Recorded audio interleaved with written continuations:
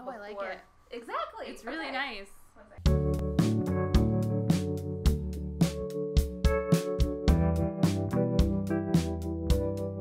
So, having beers today. Oh, cheers. Cheers.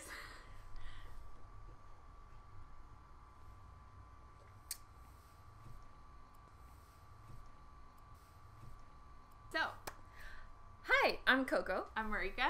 And we're Serial Serial Knitters. Knitters. This is a podcast about knitting mostly. Mm-hmm.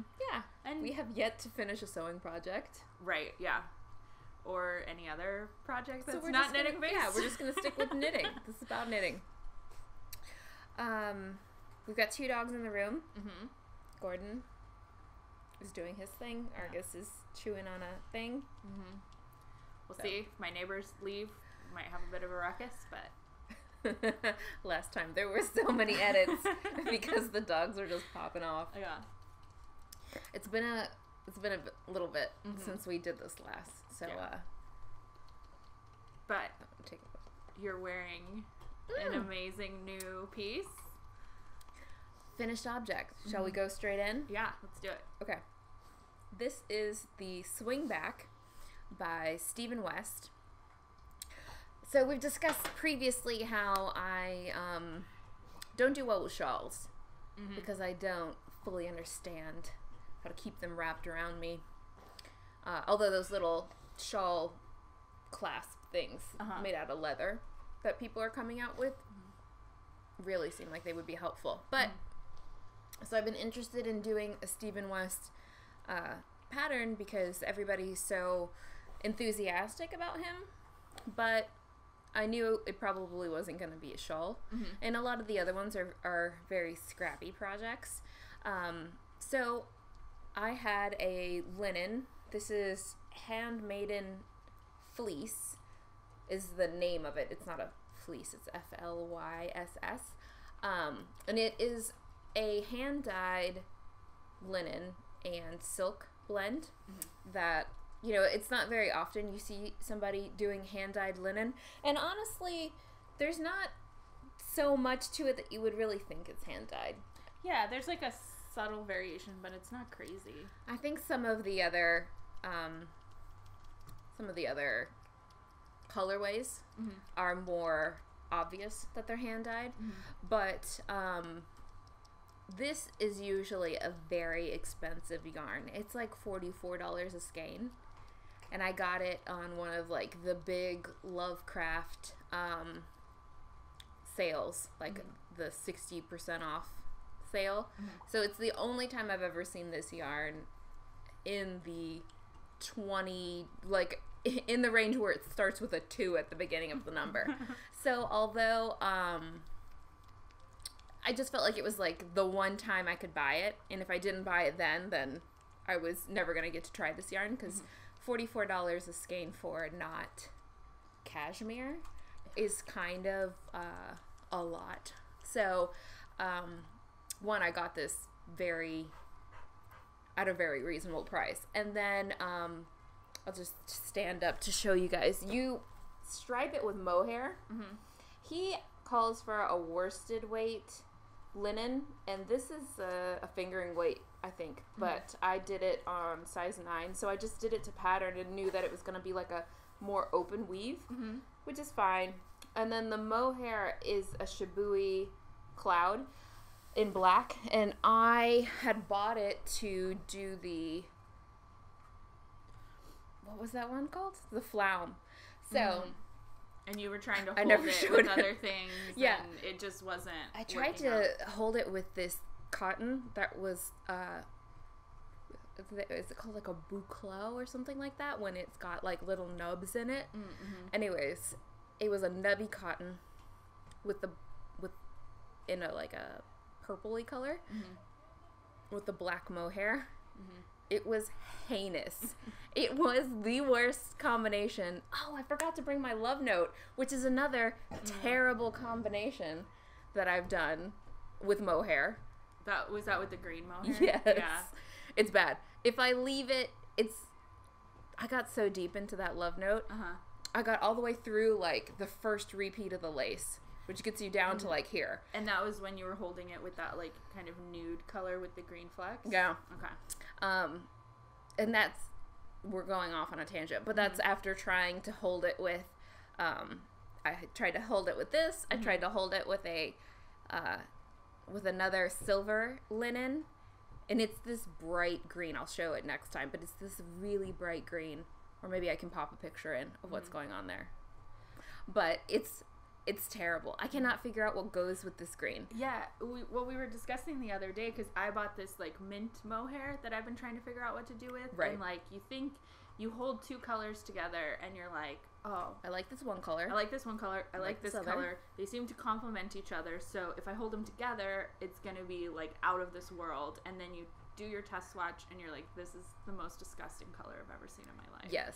and neither one of us um, have figured out what the correct formula is for holding different colors together, like holding a mohair with something else.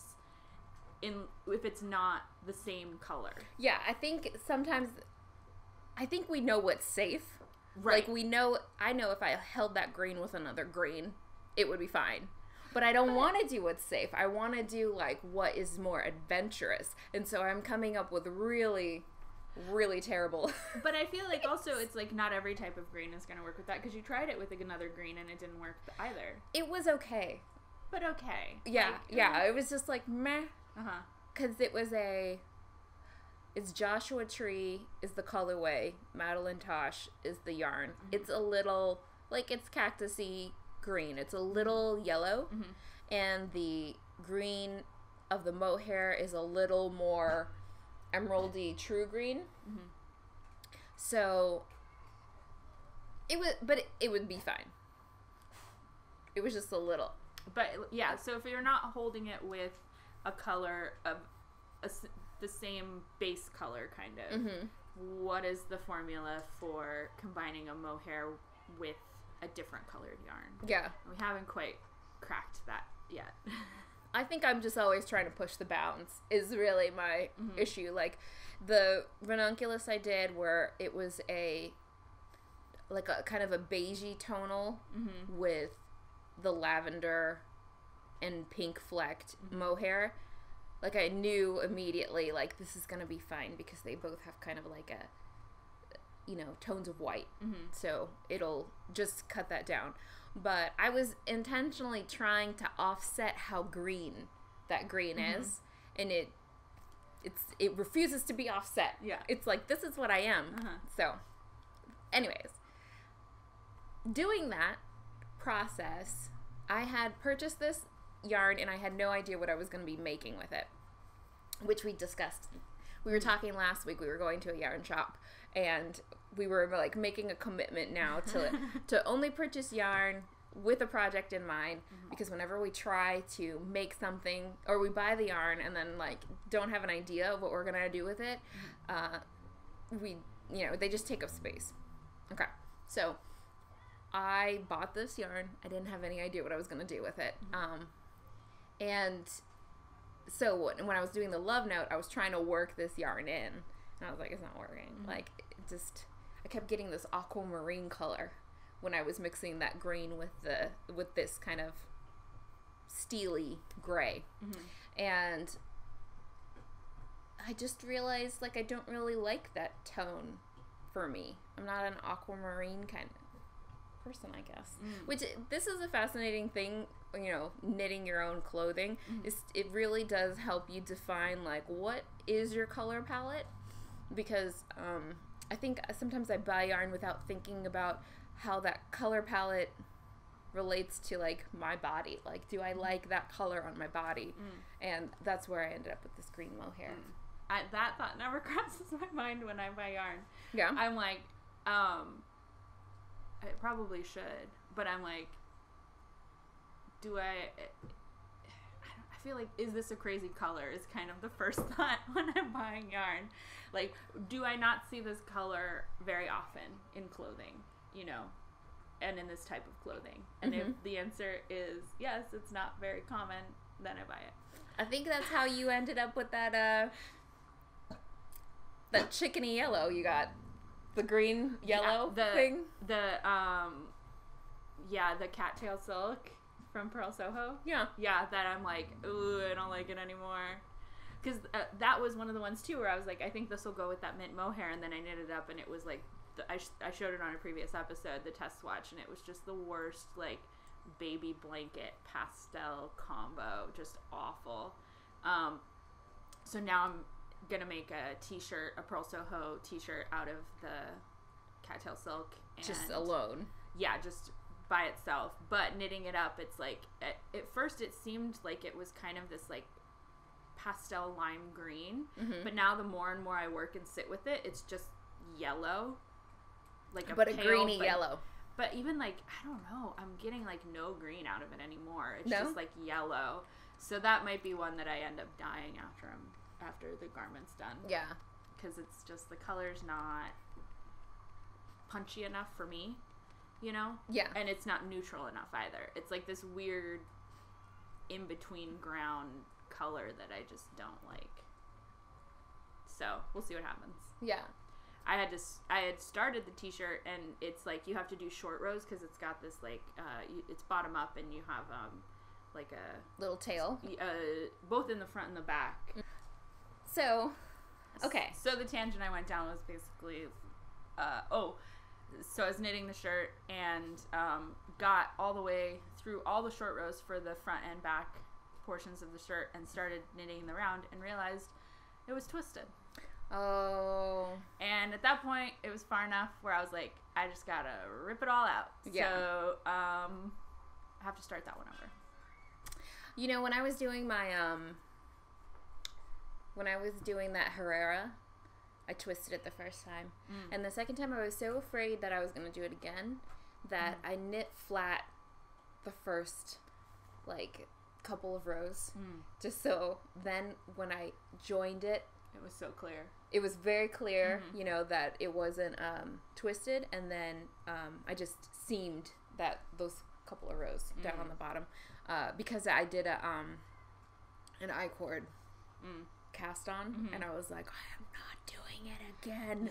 Like, Well, I- it took I- so long. I did um my cast cast on obsession of the moment is the Chinese waitress cast on hmm and that one is not a quick cast on and that's what I cast on the bottom of this t-shirt for because it gives like a very clean even um cast on line that's uh, reversible it's pretty much the same on both sides um and it's got a little bit of stretch to it but it also you know maintains its structural integrity pretty well but yeah I was I was really disappointed about that. And I thought I was so good. I was like I thought I was really good. Like I hadn't twisted it. I went through. I was like there's no I've never twisted anything. I'll be fine. Blah blah blah blah. 3 days later. you were like, Rip it oh, all no, out." Oh no. Ugh. So But Okay, back I to this guy. Yes, Um, but I think this is very successful. I like it a lot. So I went into so this yarn started with no point, no like project I, I knew I was gonna do. I had two skeins of uh, the Flyss, handmade in fleece. Uh, it has very generous um, yardage. I think it was like 487, and the pattern called for just like 120 or so yards more than I had Mm. to make this. So I was playing yarn chicken, but then I ended up with like a good ball left still. Mm. And I was fully going to make like tiny little sleeves Mhm. and um my husband was like, "You always make your stuff too short. Why don't you try to make it the right size?" Mm. And I was like, uh, I well, I'm afraid I'm gonna run out of yarn. And he was like, Well, how about you just make it the right size on the one arm, and then if you end up short on the other one, then you can pull this one back and like make some choices. And I was like, Okay, fine. And he was totally right because I ended up with so much extra yarn. I could have, um, I think I shortened like a couple of. I could have gone a couple of um, rows longer in the body and I shortened that up, which meant I had like tons left over. I don't know what it's some magic happened, and I ended up with a bunch of extra.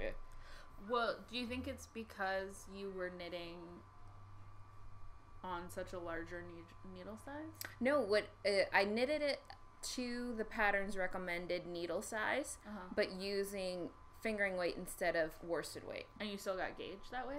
And I still got gauged that way. Okay. Then I don't know what happened. Yeah. It was fine. Um so the pattern was very good. It's got this like extra bit of this extra little decorative flap Mm-hmm. in the at the top. And then um yeah, it's like dolman sleeve or whatever. It's drop shoulder Mm-hmm. kind of a thing. So as soon as you separate for the body, I mean, as soon as you separate these, you're way down almost to your elbow. Well, with how much this is draping, Mm-hmm. and then um, the trickiest thing was weaving on all the ends of the mohair because Mm. each of the stripes I broke the yarn, Mm-hmm. and um, mohair's just a little. It's a little tricky to feel like it's getting woven in correctly, but um, the thing with the linen is I feel like you can like take your needle and go through the linen and break kind of like the stitches up and you feel like it kind of grabs more. Mm. So great. This is a linen and silk blend, so it's warmer than I expected it to be. Mm, mhm. It is actually despite looking like netting Mhm. because I also run hot, it's almost a transitional like Mm. into spring Mhm. wardrobe piece for Mhm. me because I think by the time it's summer I can't wear this. Like it's Mm. it's a little too warm. Um, and nothing to do with the mohair since that's all on the stomach, but Mhm. uh, I think it's a good it's a good like throw on after yoga Yeah, kind of look. that's a really good, good looking sweater. I like the the drop tail in the back. Excuse all the uh the dog hair I'm sure I've got, but it's got this Oh yeah. like, little Mhm. tail, Mhm. and he shows it as like you can. It's got these eyelets in the back. I don't know if you can see them. There's just like little eyelets, Mhm. and they show in the pattern like you can string a cord through it to kind of like s- cinch the sweater in a bit Oh, because really? it is a little flowy. But I think I would just leave it as it is. Mm-hmm. So first time like properly long sleeves. Mhm. I go I went all the way Past down, the guys. wrist, all the way to like Um, yeah, all first knuckles. almost yeah. And uh, I did this super quick. Again, Mm-hmm. work is crazy. I could not figure out the baubles in that minaret that I started and got all the way down to the just that last chart where you have to like do baubles and then cross the the little ridges going all the way down. I couldn't manage it. Like I I don't know. I just was like I cannot learn one new thing this so I knit this whole sweater to avoid having to learn how to do the bobbles. Mm. So this is the Swingback from um, Stephen West, and uh, I would suggest it, of course. It's a good pattern. Nice. I don't know what if you don't like knitting and linen. Mm-hmm. I don't know what would be a good option to knit this in Mm. because he knits it in linen, and mine looks pretty similar. I just did black stripes instead of the um. He did white stripes in his. I th- I've seen a couple of people who knit theirs in a, a DK, but I think it would be quite quite warm. Mm-hmm. This is quite Cool. warm. Yay! Nice. That's my finished object. Woohoo! Um, I have a mostly finished object. Um, so I had this alpaca, this blue alpaca, was left over from my um, Ramblin' Woman sweater. Right. You And- were very pro this yarn. Yeah, I love it. I love it so much. Um, I cannot remember who makes it ever, but um, I think it's like Yarnell's Choice DK. Mm-hmm. Um, but I can look it up. I love this yarn. I have the the tag in my little book. Um, and then uh, have this Blue Sky, um, Metalico, which is a alpaca silk blend.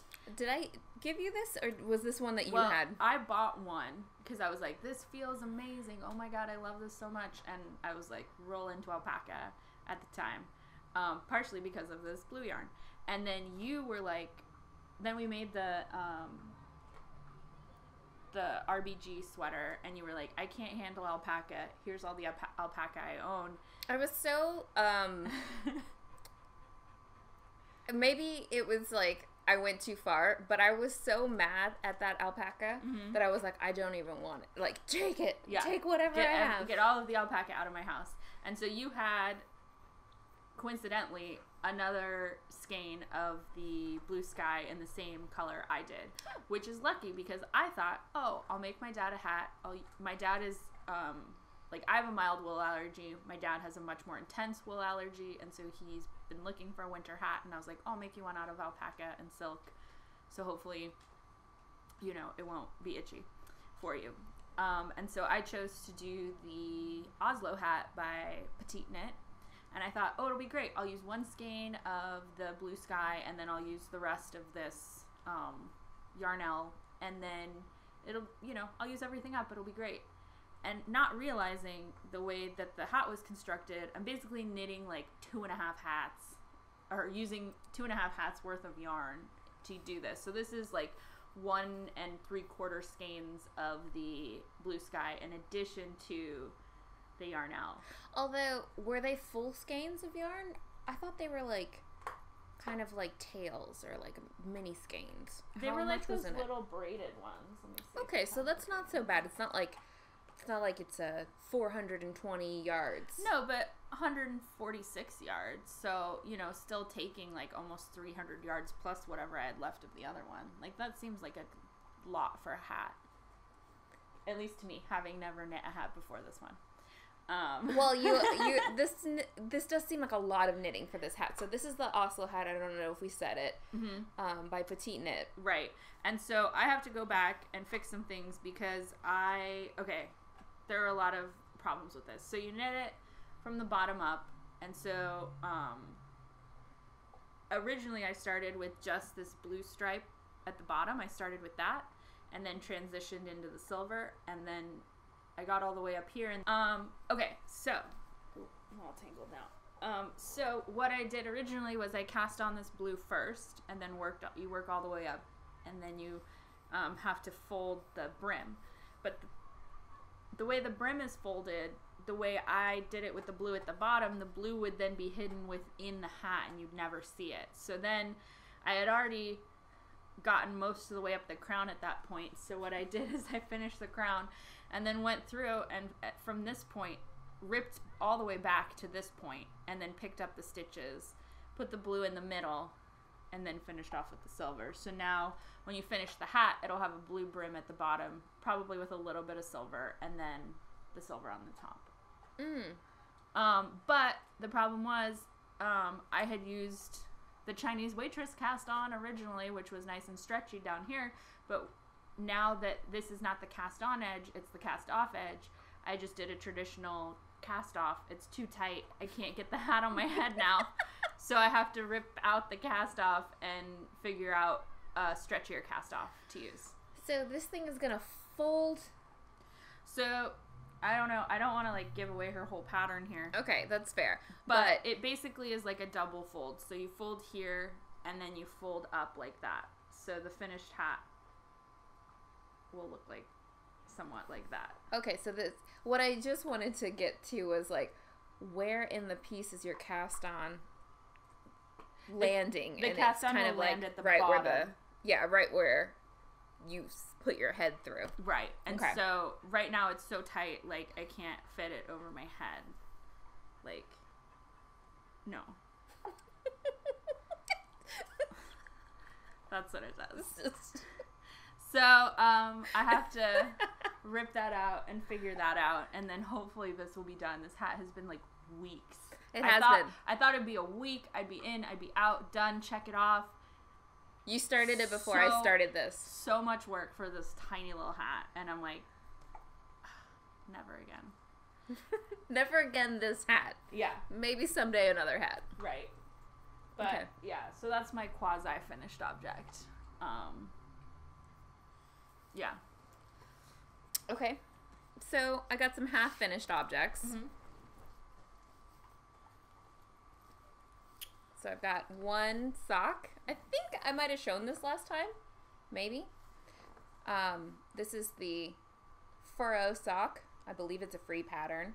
Um, and it's, as I said before, it's kind of like a lesser version of, not lesser, not like diminutive, but just like less uh, intricate than the coffee talk sock that I did before, but still giving me the um, the padding on the top because I'm gonna wear it with Doc Martens. I think we talked about this before. So this is the Patons Kroy in Cascade, available at Michaels. Very nice. Uh, and I cast on the second sock, so I'm on my way. I'm gonna make it. We're gonna get there. Um, I just love this colorway. I love the fade. I like the. I like these kinds of grains. I think mm. greens and blues, mm. which is kind of aqua-y, mm-hmm. but for some reason that mohair green is not it. So I did. What happened was I purchased one skein of this, and then I didn't realize that one skein is not enough to make two socks. Which I've used Patons Kroy before. I don't know why I forgot that it's not enough. I didn't even check it. So I had to go buy another skein, and in the meantime, while I was waiting, I finished a completely different sock. so this is the um, Winter's Frost, and it doesn't have an apostrophe. It's just Winter's like Winter's plural and then Frost. Hmm. Fun facts. Um, I don't know who it's by, but I'll put that information up. Um, what is new about this sock to me is it is going to be a sock where there's a specific right and a left. So here there's a lace pattern, and it is it would be you know on this side for the right side. So this is the left sock, and this one I did in leftover Knit Picks Hawthorne. Um, this is a a tonal, and then this one I can't remember what the name is of it.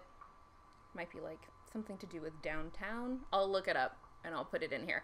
Anyways, so I hate this color. Like I one. really hate the top color, and I'm probably that probably did not.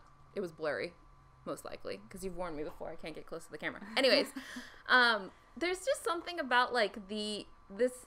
It has black flecks in it, and I think because of the black flecks, it's caused the white to be like kind of a gray white. Looks a little dingy. It's a little dingy. And when I was thinking about knit, I, initially I thought the whole sock was going to be in that color. And when I was thinking about doing that, I got to about a little bit before this point, and I was like, I don't want a pair of socks in this. I like, I don't want a whole pair of socks mm-hmm. that just always look dirty. Mm-hmm. So then I had this leftover pink, and I was like, okay, I'm gonna do the whole bottom in this bright pink. And now I've got to attempt to get the second one to match because I did not make any notes. So I'm going to have to count this out and figure out exactly when I made the switch.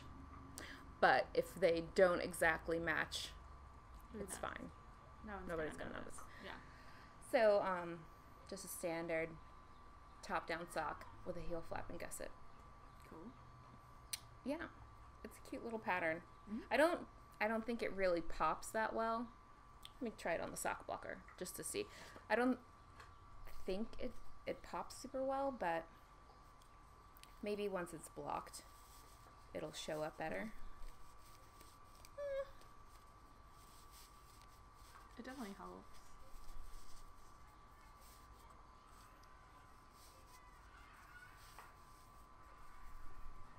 Kind of. I don't know. So it's just got this pattern. It's very memorizable, which was great Mhm. for me. At that point in my life, it makes you feel like you really accomplished something, but it, it didn't take too much brain power. Nice. Two half finished objects. Um, let's see, what am I doing? I still have the Nightingale still underway. Mm-hmm. I can show you where I'm at with the sock or the sleeve. Um,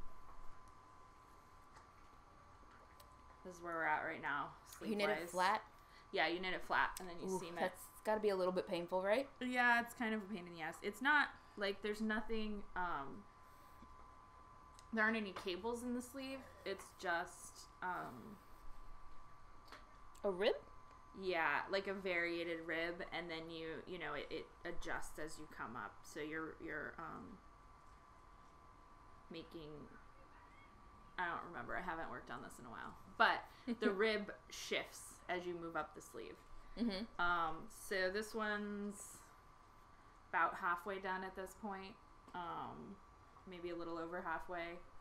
So How do you feel about all the seaming work you're gonna have to do on this one? I'm not super excited about it because I feel like it's already a pretty um, thick sweater, and the seaming's gonna add a lot more thickness and weight to it. But Mhm. we'll see what happens. I seamed the shoulders, um, and there's some pretty thick seams in there. But I feel like also the seaming might be needed to help with the structural integrity.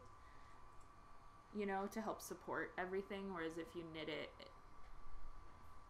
in the round, In that yarn, it might be. yeah, heavy. just drag everything down. What kind Um, of stitch did you use to uh, seam the shoulders? I think just a mattress.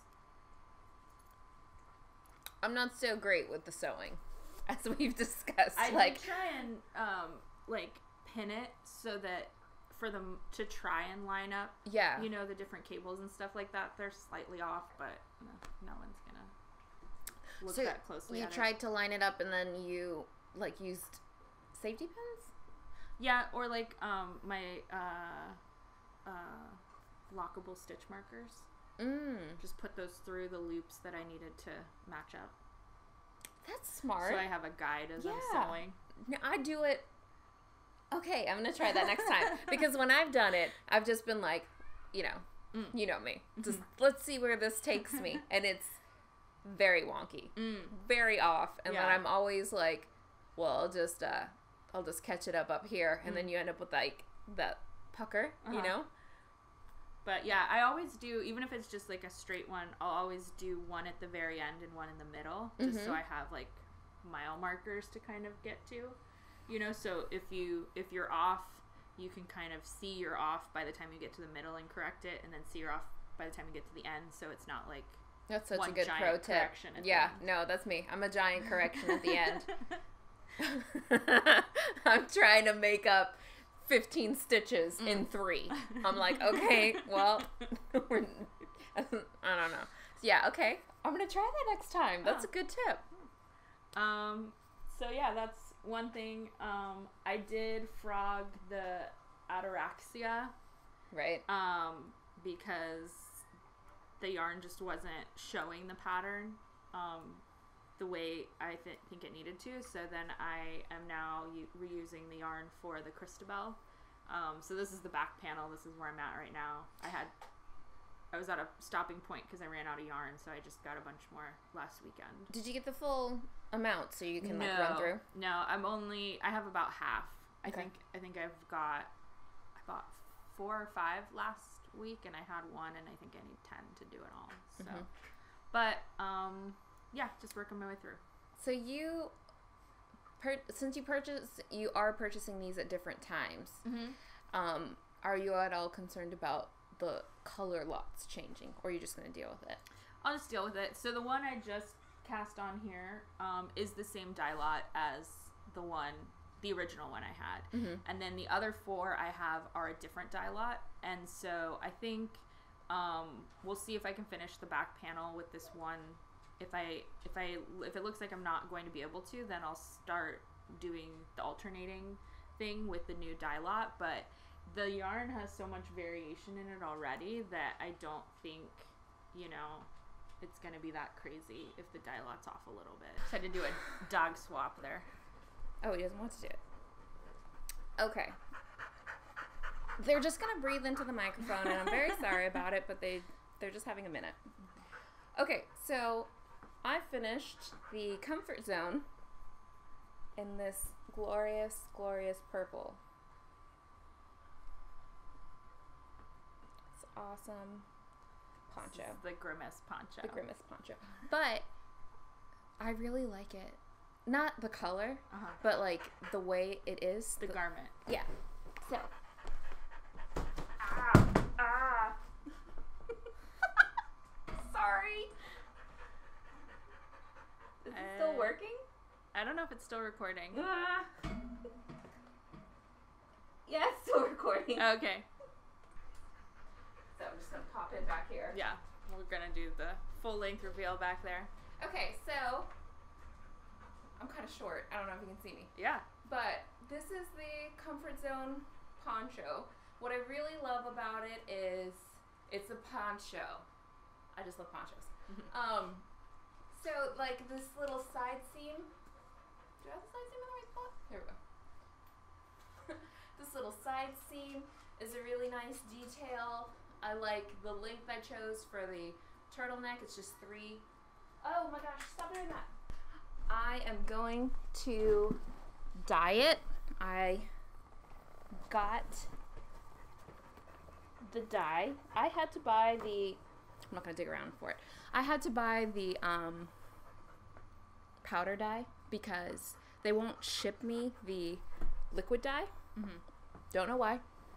Something about maybe the state of California. I don't know, but they would not do it. So this is it. It's a beautiful pattern. It's a beautiful um, silhouette. I think I wore it out at night when I thought that the purple wouldn't be too obvious, and I really love it. Highly recommend it. You're gonna see this again once I dye it purple. I mean black. I'm gonna dye it black. Nice. So we had pandemonium. That's why we're talking so fast. Because one, the card's gonna die. Uh-huh. Two, these dogs just like had a meltdown. And there's beer on the floor and everything has gone wrong. So that's it. Okay. Okay, what do you got? Um, I was gonna talk about I swatched for the Bell Cardi. Um, so these were my two swatches. Um, Mm-hmm. and Oh yeah, we didn't talk about this. Yeah. So, So, last think- time you had three colors: a blue, Right. a red. and this- this guy, and um, I decided not to do the blue. Sorry. Um, and so I swatched out of these two remaining colors, and I think I'm gonna go with the red. Guys, So that's guys. what's been decided, and I think we're done. Back up. Stop it. Are you guys really gonna do this? Okay, you're playing. Please don't knock over anything else.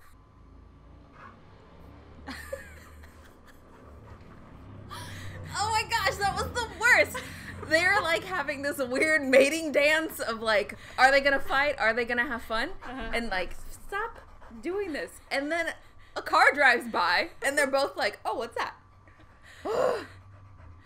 this has been the worst. So this started off with uh, Argus jumping on me and pulling out a thread Uh-huh. on my um, Swingback, Mhm. and then Marika spent like 45 minutes fixing it proceed to when I put this thing on. You, oh, Gordon starts peeing on something in here. then Argus started peeing on something in here. Then the beer gets knocked over. It's just pandemonium. And then this weird dance just happened. Uh-huh. Okay, so I feel like this is Ah. the least cohesive. We were having such a good, like, really Mhm. tight thing, and now it's the least cohesive, like, conversation ever. Your Bell Cardi, yeah. Well, you're gonna do it in the red. yeah. We picked the red. We'll see how it goes. The pink was like a doily. it just didn't the way the the pattern um the variety and the dye um knitted up with the pattern just didn't do it for me so we'll see i still love the color so we'll figure something else out for it i think that's it we did it we made it i think that's mine Yeah, you you have like 10, 10 sips in there. okay so happy knitting Happy knitting. These dogs are killing me.